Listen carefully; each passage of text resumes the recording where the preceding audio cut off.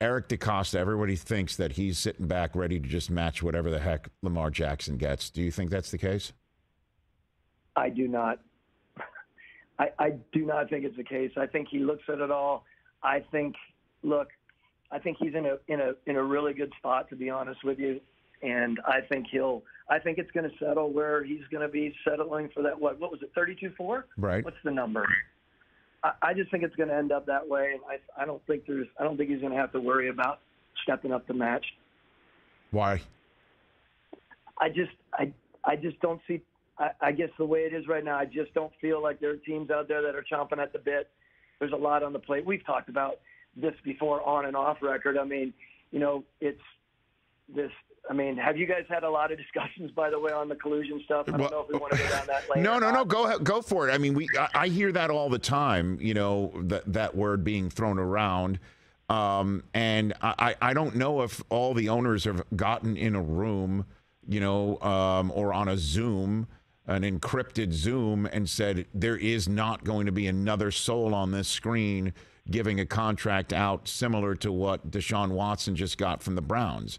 Um, uh, but I just think industry wide, nobody liked that contract. Nobody liked the contract. Nobody liked the guy who who got the contract because of the circumstances surrounding um, right. Watson. And and I, I, think most front offices despise that contract with a, a thousand furies and and then Kyler Murray gets uh, 180 something million guaranteed. Not all of it is a guaranteed contract.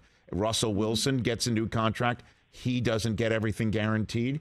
So those are two in the case right there that are not the same case as Cleveland.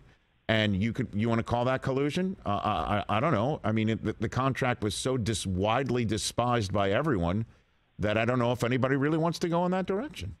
Is that simple? Yeah, I don't. Or what? I know you know go back and forth on whether it's collusion or not. What we do know categorically is no team wants to be agitated by their next deal, right? And to think about a deal that has a you know the entire deal being guaranteed is an agitation, whether it's you know behind the scenes or not.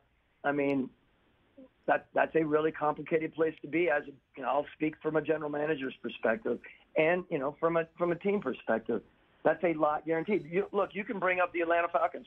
Why are the Atlanta Falcons not interested? Yeah. I think there are many, many layers to that, Rich. I think, you know, not only is it the idea that they are just getting through what they considered cap hell. Uh, some guy that used to be there was responsible for that, ostensibly. Well, there's a long story to that. We'll have we'll, we'll talk about that another time. Right. Um, but but the fact is, they're getting out of that you know, they need their draft picks to be doling out, you know, two first round draft picks and all of this money. I just feel truly that this organization in Atlanta, where I'm standing right now, want to move beyond that. They want to start building. They, you know, now they have a quarterback situation, which is why we're at, we're talking about this. That is very complicated for them right now. You know, Tyler Heinicke's not coming out there into Atlanta and just being the savior. We know that. Now they're sitting at a spot in the draft that they could potentially pull another one. They had one from last year. I think there's a lot rolling that way. I also believe back to you you bring a, guy like Lamar in. You're talking about a different system. I alluded to it earlier, right? Talking about coaching in a different way. That's another complication.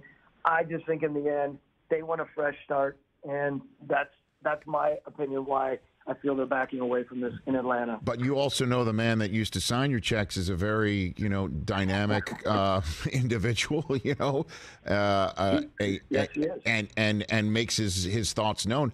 I honestly thought Arthur Blank might sit there and go, "This is what a major move this would be for for me, for us, for this city, for the franchise. Brady's gone. Carolina's going to, you know, draft a rookie."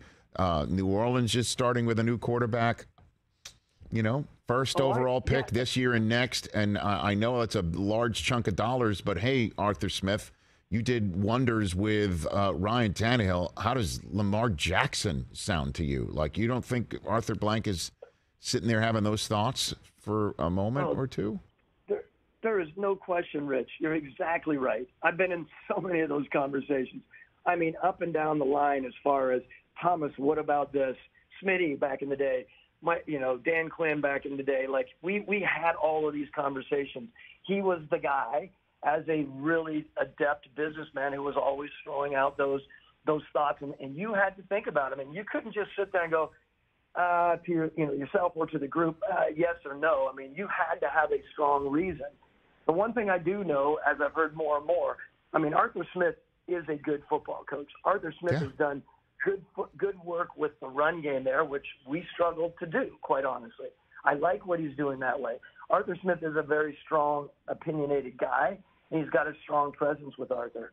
So I think they sat down and had some great conversations. But in the end, I mean, I'm giving this to Arthur Smith, and I'm giving it to Arthur Blank.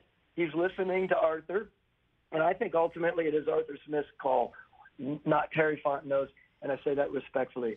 I think he's making the call, and I think they're looking other places. Catch the Rich Eisen show every single day on the Roku channel, 12 to 3 Eastern for free.